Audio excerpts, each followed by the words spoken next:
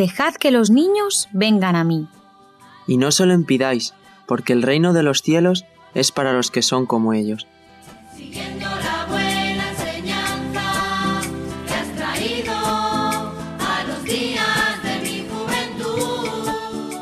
Estas y otras muchas palabras de Jesús, el Hijo de Dios, son las que nos inspiran para servir a nuestro Señor en este maravilloso terreno, de sembrar la palabra de Dios en el corazón tierno de los niños. En tiempos tan hostiles para este menester como son los actuales, dejad que los niños vengan a mí, se nos presenta como una oportunidad única para poder sembrar los valores eternos que solamente la semilla de Dios puede darnos. Enséñame a vivir en ti. Dios. Dejad que los niños vengan a mí es un trabajo realizado por las jóvenes de la Iglesia Bíblica Reto a la Esperanza en La Coruña. Es un viaje, una aventura que recorreremos juntos a través de las vidas misioneras de hombres y mujeres que nos dejaron un legado de fe, esperanza y amor. Dejad que los niños vengan a mí es la oración, súplica y el deseo ferviente de nuestros corazones, de conocer desde la niñez aquellas cosas grandes y maravillosas que Dios tiene preparadas para los que le aman.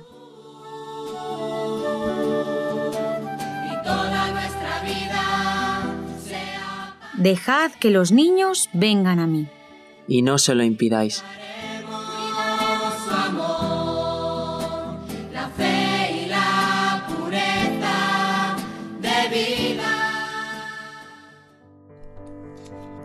Hola chicos, bienvenidos a la nueva historia misionera, la historia de David Brainerd.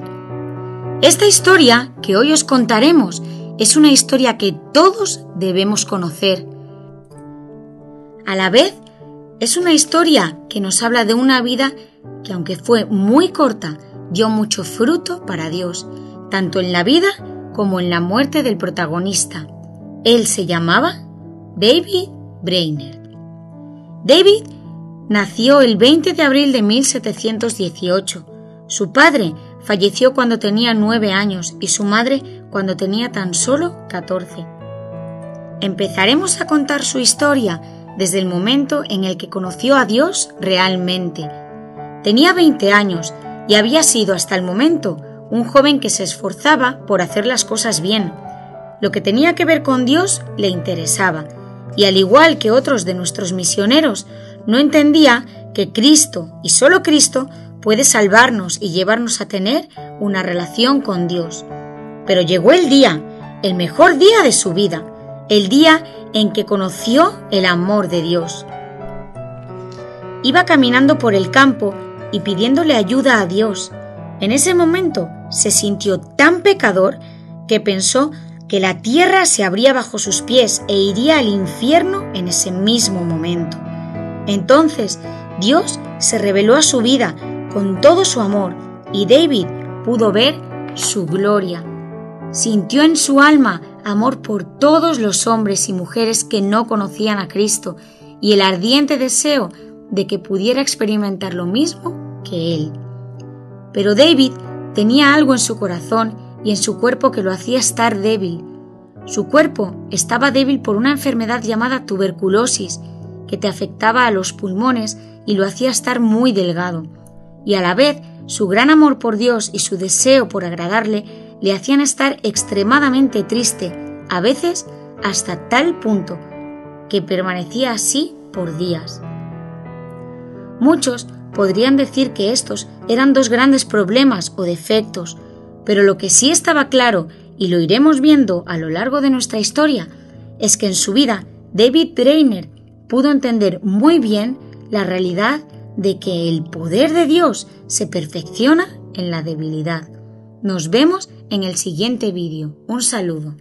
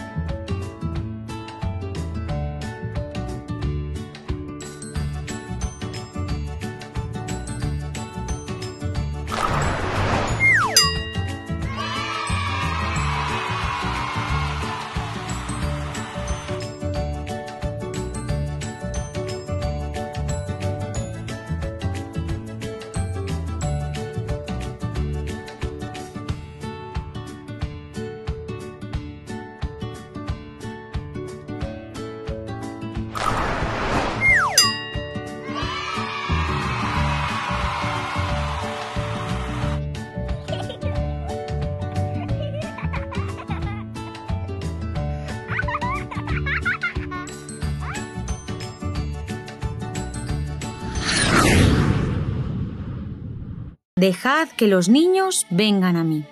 y no se lo impidáis.